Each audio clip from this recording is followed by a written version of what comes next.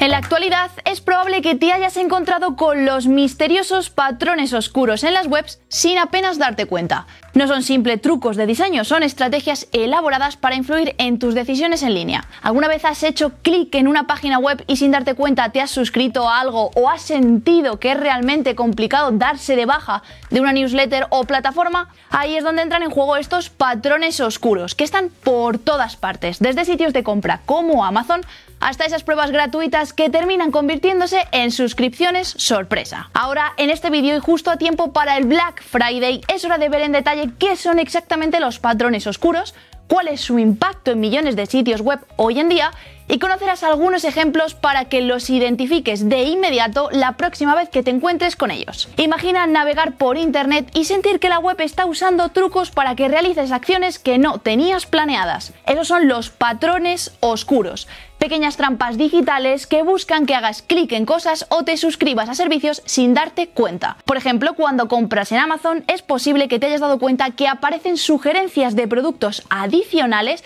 que podrías no necesitar realmente. Este es un tipo de patrón oscuro, dark pattern, diseñado para que compres más de lo planeado. A veces incluso los botones de comprar ahora son tan llamativos que terminas haciendo clic sin pensarlo mucho. Otro ejemplo que seguro que te suena. En algunos sitios web, registrarte y crear una cuenta es sencillo pero darte de baja resulta una odisea. Incluso servicios de streaming pueden ocultar la opción de cancelar suscripciones de una forma que resulta hasta ser un auténtico puzzle. Esto es en esencia un patrón oscuro. Estos son solo dos tipos de patrones oscuros que puedes encontrar, pero lo cierto es que te has topado con ellos muchas más veces. Veamos algunos.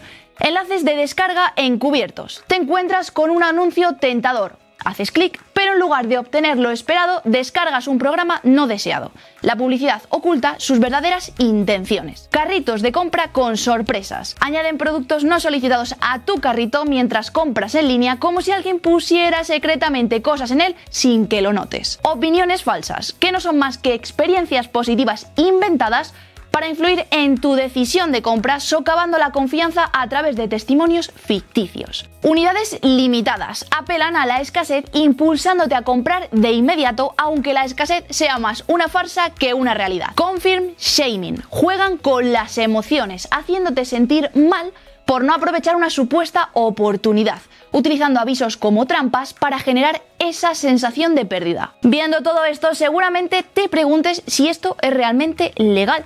Pues bien, decirte que la legalidad de los patrones oscuros ha sido un terreno bastante turbio, pero el Comité Europeo de Protección de Datos ya ha establecido pautas para estas empresas. Por otro lado, la Ley de Servicios Digitales también se presenta como un gran y necesario avance contra prácticas que socavan la toma de decisiones libres del usuario. Finalmente, y aunque el Reglamento General de Protección de Datos no menciona directamente los patrones oscuros, sus principios chocan con estas prácticas que carecen de neutralidad y transparencia. A pesar de estos avances y unas leyes que parecen algo difusas, no cabe duda de que todavía queda mucho por legislar y controlar para erradicar estas prácticas. Por tu parte, conócelas, sé consciente de su presencia y lucha contra ellas. Si te ha gustado este vídeo, dale like, suscríbete y cualquier duda o sugerencia puedes dejarla en la caja de comentarios. Nos vemos en el siguiente vídeo.